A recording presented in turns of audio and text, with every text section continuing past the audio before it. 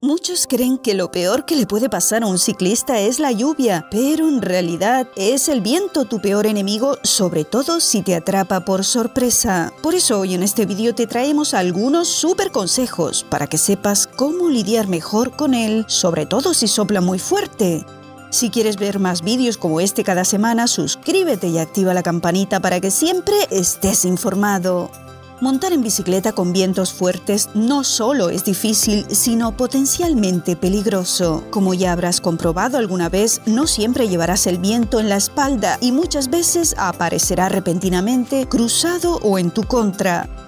Por eso lo primero que tienes que tener en cuenta cuando se levanta viento es la elección de la ruta. Por ejemplo, un trayecto que pasa por un valle siempre estará menos expuesto que la cima de una montaña. Lo mismo ocurrirá con una carretera que atraviesa un bosque.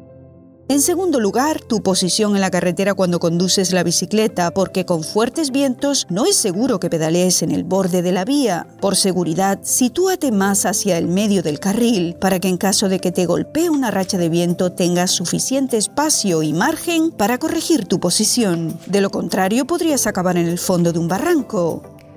Si llevas el viento en contra, tampoco oirás el tráfico y será muy difícil mantener el ritmo. Por eso es bueno llevar siempre un espejo retrovisor. Sabemos que no es muy cool para algunos ciclistas, pero en el mercado hay una amplia gama de espejos que no alteran la estética de la bicicleta y que te pueden salvar la vida, sobre todo en casos como este.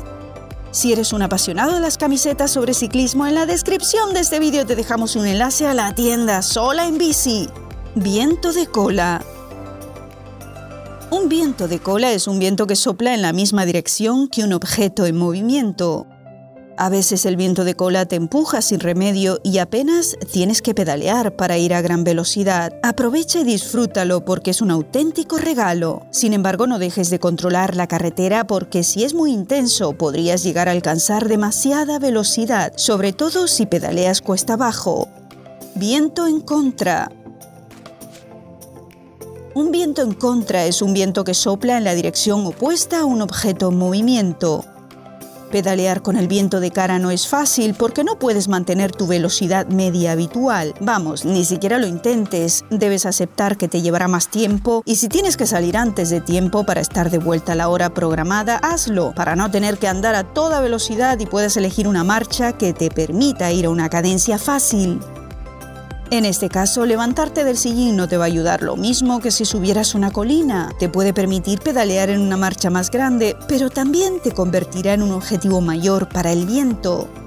Para ir más rápido o pedalear con menos esfuerzo, debe ser más aerodinámico. Evita la ropa suelta y si tienes un manillar de ruta o drop bars, coloca las manos en el gancho y si no, colócate igualmente lo más abajo que puedas.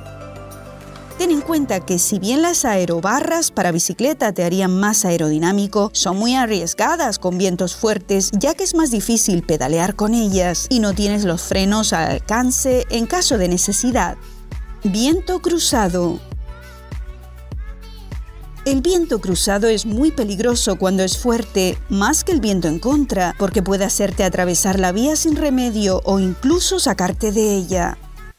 Debes tener especial cuidado con cualquier situación que te exponga repentinamente al viento, como un hueco en un seto o en una línea de edificios. En ambos casos, anticípate y prepárate para inclinarte hacia el viento.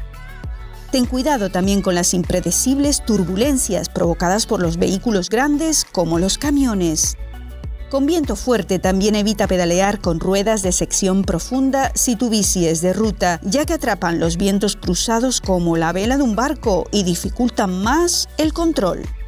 Un viento cruzado muy potente puede empujar a cualquier ciclista. Ten en cuenta que aparte de tu propia fuerza y masa, lo único que te mantiene en tu lugar es la atracción de los neumáticos de tu bicicleta en la vía. Así que ten cuidado, en especial cuando hay poca tracción, como en las curvas o sobre superficies resbaladizas, como las líneas blancas cuando están mojadas por la lluvia. Los neumáticos más anchos y blandos tienen mayor superficie de contacto con la carretera y agarran mejor, haciendo más difícil que salgas despedido por la fuerza del viento. Un viento de 32 km por hora es suficiente para arrancarte el peluquín y ya se nota en la bicicleta. A 48 km por hora, el viento hace que el ciclismo sea bastante difícil, incluso para los ciclistas más experimentados. Vientos superiores a 60 y 80 km por hora, es decir, de fuerza 7 a 9 en la escala Beaufort, son ya muy peligrosos para un ciclista y deberías evitar pedalear en estas situaciones de temporal.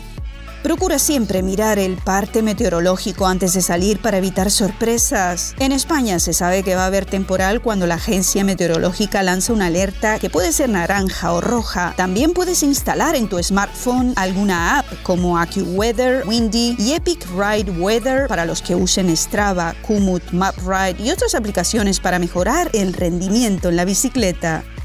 Esperamos que hayas disfrutado este vídeo y nos encantaría saber lo que más te impactó de él en los comentarios aquí debajo. Y si quieres, para yo saber que te gustó el vídeo, también puedes escribir esta frase, nunca llueve eternamente. Recuerda que esta frase también te la puedes llevar en una camiseta haciendo clic en un enlace que te dejo en la descripción del vídeo.